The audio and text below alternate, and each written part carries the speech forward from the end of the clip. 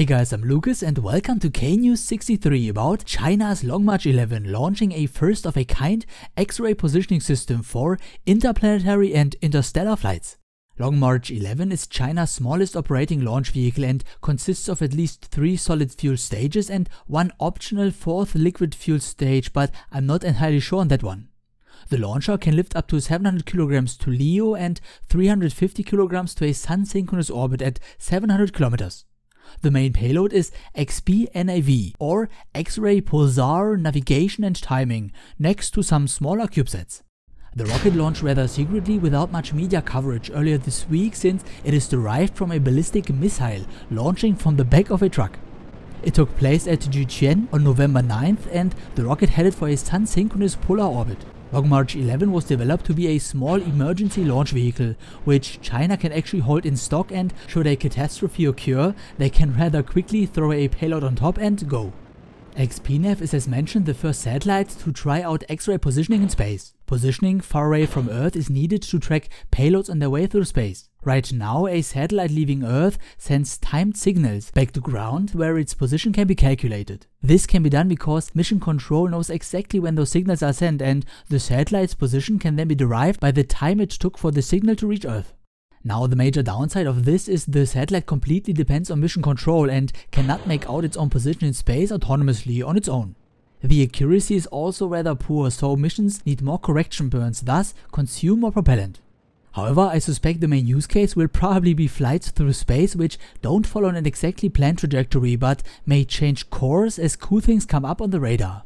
To understand how this new technology works, which by the way originates from the German Max Planck Institute, you have to know about pulsars.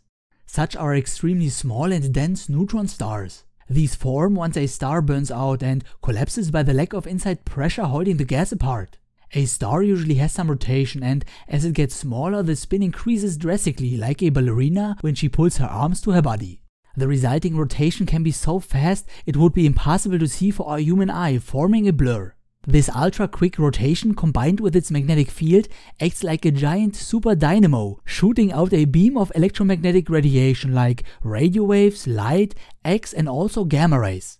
If the magnetic field is not aligned with the spin axis, this neutron star becomes a galactic lighthouse so to speak, a pulsar each with its unique fingerprint since they all spin at different rates and at different angles. This is shown here by such curves. A hill means you get hit by the beam and a valley means the beam points away from you. Since all pulsars are unique, you get hit by each at different times. Now, moving through space, the distances to all those different pulsars change. This means the pulses of those pulsars shift relative to each other, so at some point you get hit by the other one first. Knowing how these pulses overlap on Earth, one can calculate where the spacecraft's position relative to our Earth has to be in order to achieve such a change. The more pulsars are used, the more accurate this becomes and you need at least 3 to calculate your position completely autonomously. XPNAV will only track 2 pulsars since it is just a test but it will be enough because it can not only measure the distance to the pulsars but also the distance to Earth which acts like the third needed input. Once released, it will begin to deliver valuable data, not only for China but for scientists around the globe, so we can one day leave our solar system without getting lost. Now in the end, a quick shout out to my patrons who support my monthly crowdfunding campaign. Thanks a lot guys. If you want to contribute as well, simply follow the link in the description. But if you can't or don't want to, you don't have to feel sorry. It's alright. I'm of course also happy about everyone watching my videos.